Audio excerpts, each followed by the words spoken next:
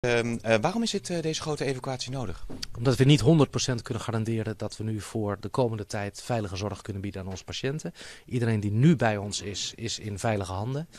Maar eh, een aantal vitale functies kunnen we niet voor de langere termijn garanderen. En dat moet wel. En als je dat niet kunt garanderen, dan kun je de patiënten beter ergens anders naartoe brengen. Hoeveel patiënten moeten er worden geëvacueerd? Wij gaan uit van enkele honderden. En hoe lang gaat dat duren? We hopen vanmiddag en vanavond zover mogelijk te komen. Ja, denkt u dat u vanavond klaar bent?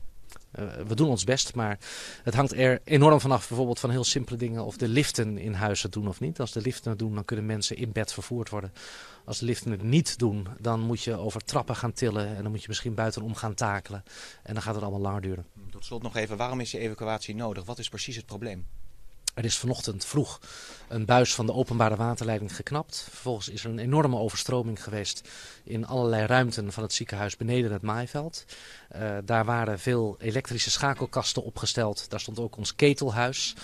Um, nou, dat stond allemaal onder water. Als je dat nu gaat opstorten, starten, dan kun je niet garanderen dat een aantal vitale functies het ook gaan doen. Bijvoorbeeld dat er vers water en hygiënisch water uh, uh, voorradig is in alle delen van het ziekenhuis. Dat het opgepompt kan worden naar alle verdiepingen. Um, dat er heet water gemaakt kan worden, dat er verwarming het doet, dat er stoom gegenereerd kan worden. En als je dat niet zeker weet, kun je geen ziekenhuis runnen. Hoe kan het zijn dat zulke vitale functies uh, beneden de grond zitten? Dat is toch een risico? Ja, als zoiets gebeurt, dan denk je natuurlijk uh, dat dat wel een heel ongelukkige locatie is. Dat zullen we uiteraard ook in de evaluatie gaan betrekken.